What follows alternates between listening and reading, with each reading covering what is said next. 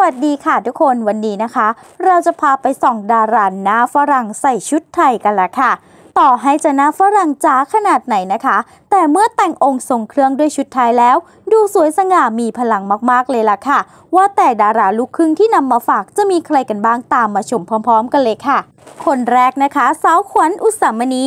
เรียกได้ว่าเป็นดาราสาวที่ถ่ายแบบชุดไทยได้สง่างามมากเลยล่ะค่ะ ถึงใบหน้าของเธอจะมีความเป็นลูกเซี่ยว แต่เชื่อไหมล่ะคะว่า ใส่ชุดไทยแล้วงามดั่งนางในวันคณคดี รูปร่างที่สมสัดส่วนจะมองมุมไหนก็ยังเป๊ะมากเลยล่ะค่ะ เห็นแล้วอยากจะบอกเลยว่า สวยสง่าดุดดั่งเจ้าหญิงเลยล่ะค่ะ และมาต่อกันที่สาวพิงกี้สาวิกากับความสวยในตาแขกที่ใช้แววความสวยมานานมากเลยละค่ะ เมื่อได้สวมชุดไทยประยุกต์สุดวิจิตตาบอกเลยว่า งดงามหาที่ติไม่ได้จริง ๆ เลยล่ะค่ะ และมาต่อกันที่สาวหยาดทิพย์ราชปานดารารุ่นเล็กที่คุ้นตาคนไทยตั้งแต่เล็กเลยล่ะค่ะ เรื่องความสวย โครงหน้าที่สวยเป๊ะ และนุ่งผ้าไทยดูสวยหวาน ดั่งต้องมนต์สะกดเลยทีเดียว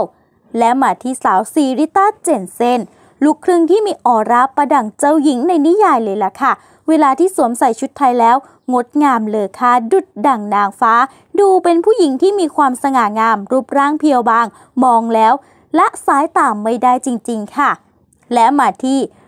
แม่ชมพู่อารยาของเราค่ะ กับความสวยหวานอย่างไทยที่เข้ากับเธอได้ดีมากๆ ใครที่ได้ชินกับ look go inter ของคุณแม่ ขอให้มาดูชุดไทยแล้วจะร้องว้าวเลยล่ะค่ะ และมาที่สาวญาญ่าอุรัสยาคนนี้เรียกได้ว่าผิดคาดมากๆเลยล่ะค่ะ ด้วยหน้าตาและบุคลิกแสนสนนะคะทำให้หลายคนที่เห็นยาย่าใส่ชุดไทยแล้ว ต้องตะลึงมากๆเลยค่ะ เรียกได้ว่าสวยเลอค่าหรูหราทุกท่วงท่า เรียกได้ว่าเป็นดาราลูกครึ่งของวงการบันเทิงไทย ที่แต่งชุดไทยออกมาได้น่าประทับใจจริง ๆ เลยล่ะค่ะเป็นอย่างไรกันบ้างล่ะคะ ดาราหน้าฝรั่งของเราสวมใส่ชุดไทยแล้ว ดูแล้วงดงามตะการตามากๆเลยล่ะค่ะ